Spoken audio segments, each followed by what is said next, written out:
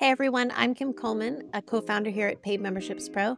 This is going to be a very short tutorial showing you how to install and activate Paid Memberships Pro. There are two ways to get the download file of Paid Memberships Pro, the complete core plugin. Uh, the first is going to our website's downloads page, and another is logging into your membership account. So I'll show you both here today.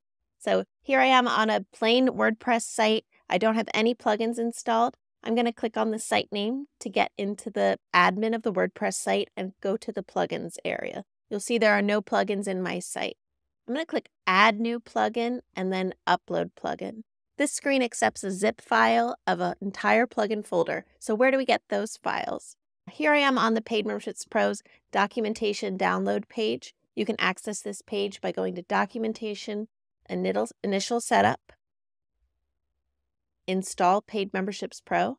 And from here, you'll see options to download your preferred plugin package. We want this one, Paid Memberships Pro v3.3.1. That's the latest version, the version I'm using here when we're making this tutorial. Or you can go to My Downloads, which is part of your membership account page. And there you'll see the downloads you have access to as part of your account with us. If you have a free membership, you'll have access to download the PM Pro plugin, our theme, and a ton of free add ons here. They'll all be shown on the site.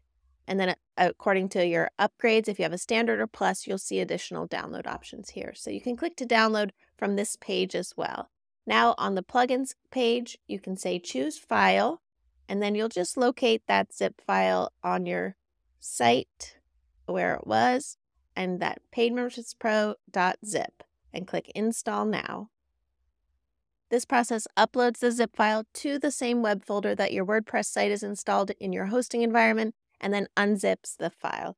You can go back to the plugin installer and activate it, or you can activate it in one step. But here I am on that plugin screen. You can click activate, and now you're in the setup wizard and you're ready to keep going with your initial setup.